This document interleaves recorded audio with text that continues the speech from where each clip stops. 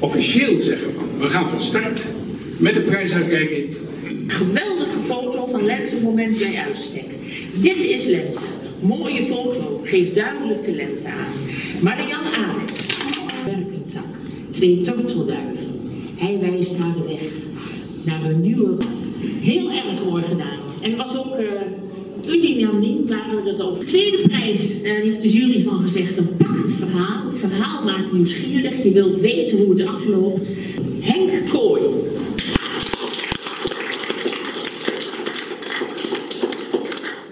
De winnares, ik hoop dat het ook goed is dat ik dit verhaal even voorlees. Het is 1 A4'tje, dus dat kan met gemak. Lente 2020. En de eerste prijs, daar wordt van gezegd prachtige kleuren. Qua magie bij nummer 1.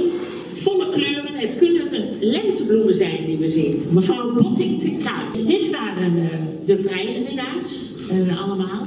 En zoals uh, al zei, de overige deelnemers hebben allemaal toch bericht thuis gekregen als dank dat ze mee hebben gedaan. En dat ze een, een, een bolletje pakket konden op, kunnen ophalen.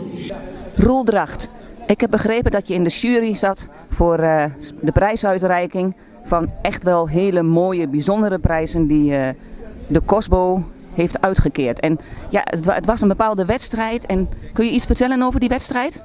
Ja hoor, dat was uh, eigenlijk een, een, idee oorspronkelijk vanuit de OVA. En dat hebben we doorgezet naar, dat is doorgezet naar de Cosbo, waar dus alle oudere bonden van Almelo in uh, meewerken. Mag ik even weten, de OVA zijn? De OVA is de oudere vereniging Almelo. En daarnaast hebben we de KBO Almelo en de PCOB. Dat, is, uh, dat staat voor zich, denk ik. En die werken samen in een COSBO. Dus dus één overkoepelend orgaan. Oké, okay, nou is het iedereen duidelijk. Ja, ja, ja. En de COSBO heeft uiteindelijk die wedstrijden uitgeschreven. En uh, er zijn ook enkele tientallen inzendingen op binnengekomen. En hele leuke dingen. Dus uh, foto's, uh, korte verhalen, gedichten, ingekleurde mandala's. En dus veel creativiteit onder de Almeloze senioren. Echt leuk.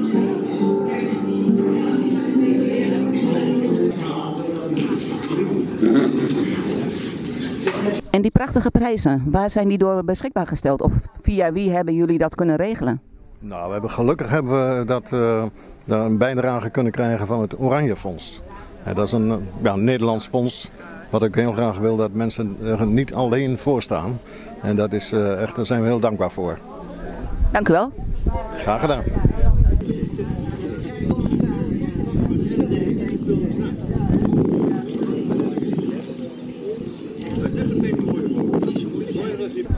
Ja, ik sta hier bij Evert Brouwer, die meestal zelf achter de camera staat.